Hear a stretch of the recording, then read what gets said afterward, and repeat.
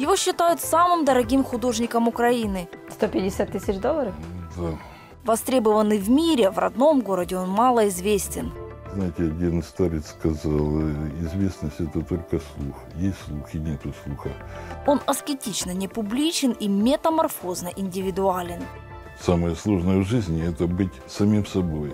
Полотнах автора ключ к самой жизни. Символы, символы, символы, понимаете, все закодировано. Вот хамелеон, понимаете, это раздвоение человека.